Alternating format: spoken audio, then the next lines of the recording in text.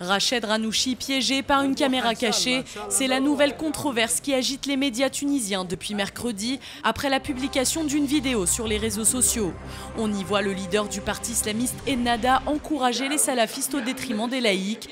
La réaction d'Ennada ne s'est pas fait attendre. Quelques heures après la diffusion de cette vidéo, le parti islamiste a démenti les propos, affirmant d'une part que cette rencontre avec un groupe de jeunes salafistes datait du mois de février 2012, au moment des débats sur l'insécurité de la charia dans la Constitution. Le parti a par ailleurs insisté sur le fait que les déclarations de Rached Ranouchi avaient fait l'objet d'un montage, les sortant ainsi de leur contexte. La vidéo non truquée a aussitôt été relayée sur les réseaux sociaux. Dans celle-ci, pour étayer son propos, le parti Enada prend l'exemple de l'Algérie après l'annulation des élections législatives remportées par les islamistes en 1991. Le chef du parti islamiste interpelle le groupe de jeunes salafistes en expliquant qu'en Algérie, malgré leur échec aux élections, les forces laïques dominaient toujours les médias, l'économie, l'administration et les institutions. le, fond des propos de Ranouchi, tel que je les, tel que je les ai lus et tel que je les ai compris, euh, ça m'étonne pas vraiment et je trouve pas ça vraiment choquant.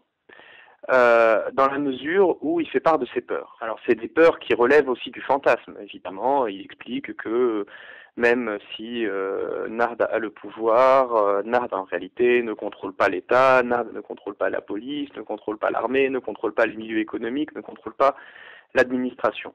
Euh, et donc, en gros, il faut faire euh, profil bas et ne pas croire que tout est arrivé, euh, étant donné simplement qu'ils ont réussi à désigner des ministres et le chef du gouvernement.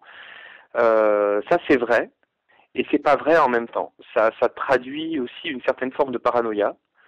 Euh, mais cette paranoïa de la peur s'explique euh, dans la mesure où il y a cette expérience algérienne, euh, justement du, de la fin des années 80, du début des années 90, qui a fortement traumatisé les militants de Nada et notamment Rachid Ranouchi, qui lui-même vivait en Algérie euh, au moment de ces événements. C'est peut-être une bonne chose dans la mesure où la peur des uns et des autres va les amener à faire des compromis et à éviter de s'engager sur euh, des grilles de lecture et des modes de comportement qui sont trop idéologiques.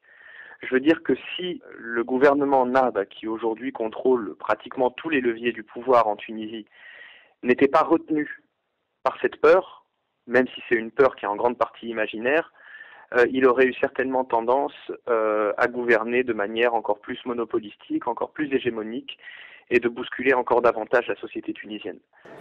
De son côté, l'opposition a qualifié de très grave le contenu de ces vidéos, illustrant le double discours d'Ennada.